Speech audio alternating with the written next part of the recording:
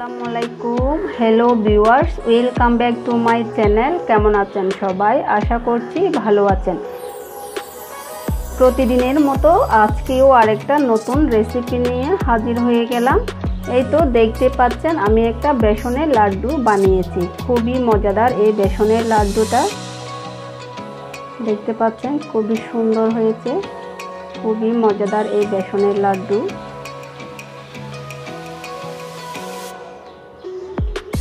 আপনারা ভিডিও দেখার শুরুতে কিন্তু একটা লাইক দিয়ে দিবেন।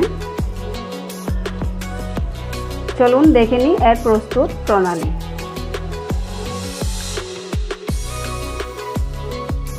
দেখতে পাচ্ছেন, আমি একটা চুলায় প্যান বসিয়ে দিয়েছি, এবার এর মধ্যে দিয়ে দিব তিন টেবিল চামচ ঘি।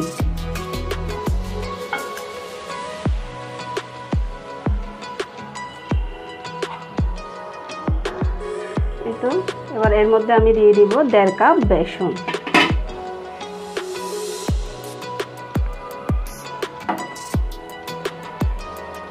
এবার ভালো করে মিক্স করে নেব।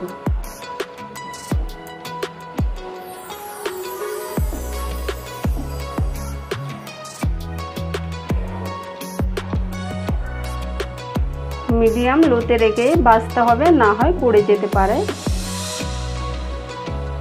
এই তো, দেখতে পাচ্ছেন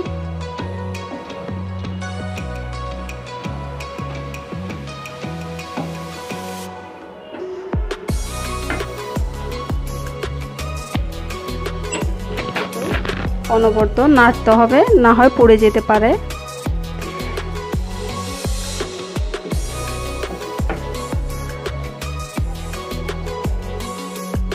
আমার বেসনটা ভাজা ভাজা হয়ে গিয়েছে। খুবই সুন্দর একটা স্মেল বের হয়েছে। এবার এর মধ্যে আমি অল্প অল্প পানি দিয়ে একটা স্মুথ দুধ তৈরি করব। একসাথে দিতে যাবে না পানি, না হয় কম বেশি হতে পারে। সেজন্য অল্প অল্প দিয়ে দুটা তৈরি করতে হবে। নাড়া বন্ধ করা যাবে না। বেসনের লাড্ডুটা খেতে খুবই মজাদার।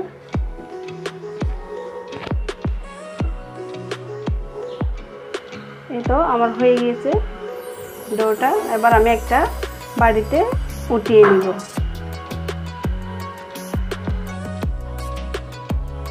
তো দেখতে পাচ্ছেন, আমি একটা বাড়িতে নিয়ে নিয়েছি। এটা আমি একটু ঠান্ডা করে নিব। ফিরে আসছে ঠান্ডা হয়ে যাওয়ার পরে। ঠান্ডা হয়ে গিয়েছে, এবার এর মধ্যে আমি পাউডার সুগার মিক্স করব। সুগারটা আমি ব্লেন্ডারে ব্লেন্ড করে নিয়েছি।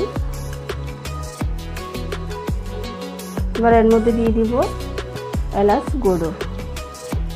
দিয়ে ভালো করে মিক্স করে নিব। এই চিনিটা আমি মিক্স করে নিয়েছে। আমি এক চিমটি লবণ দিয়ে দিব। দিয়ে আরেকটু মিক্স করে নিব। এই তো এবার এই ডো থেকে আমি অল্প অল্প ব্যাটার নিয়ে একটু হাত দিয়ে চেপে চেপে লাড্ডুর শেপ দিয়ে দিব।